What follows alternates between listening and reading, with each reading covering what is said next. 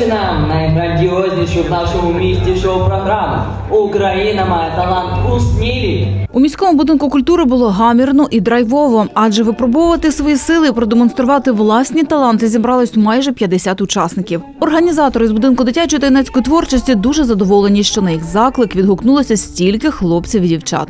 Історія конкурсу виникла у нас ще минулого року. Ми вирішили створити щось цікаве, щоб захопити дітей, зацікавити і створити щось подібне на телевізійне шоу, яке вони всі бачать і хочуть зануритися в нього так само, як е, насправді на телебаченні. Е, Тому ми створили шоу-програму Україна має талант. Минулого року вона називалася у будинку дитячої та юнацької творчості, тому що була організована там цього року. Ми розширилися і тепер в міському будинку культури. Тому назва трошки змінилась. Україна має талант у Смілі.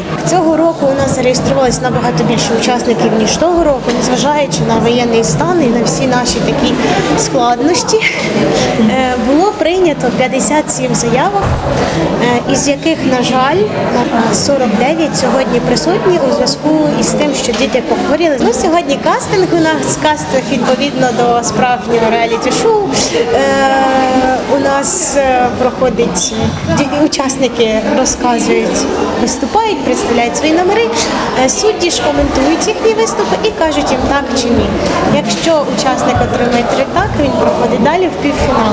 У півфіналі буде відібрана десятка найкращих фіналістів, потім одразу після півфіналу будуть опубліковані в соціальній мережі їхні виступи, відео зняті.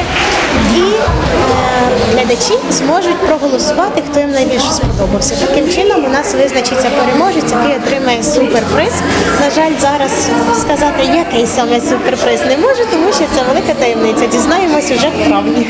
Тож до травня триватиме проєкт. Учасникам, які пройшли кастинг, ще доведеться ретельно готуватися та добряче понервувати. Адже конкуренція серйозна, нелегка робота й у членів журі. Бо казати так завжди приємно, а ні дуже відповідально. У півфінал повинні потрапити лише достойні. Цього разу погодились оцінювати таланти. Хореограф, керівник східного танцю спокуса Інна Поліщук, гітарист, співак, ведучий програм Андрій Скляренко та співачка, викладач, керівник декількох вокальних гуртів Анна Ярошенко. Учасники демонстрували свої таланти у різних жанрах і стилях. Кожен прагнув пройти далі у проєкті. Цього разу подали заявки на участь не лише сміляни, а й мешканці сусідніх територіальних громад. Крім звичайних вокальних та хореографічних номерів, був і виступ рок-гурту і акробатика на пілонах.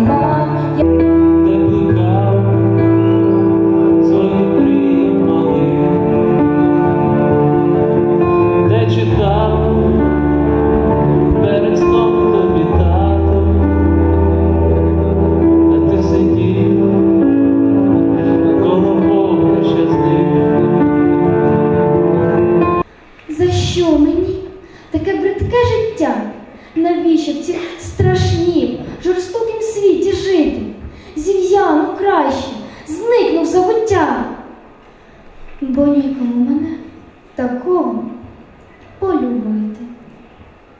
Але на дворі сонечко пекло, пташки співали весело та дуже жваво. Метелики сідали на вікно, підморгуючи крильцями йому лукаво.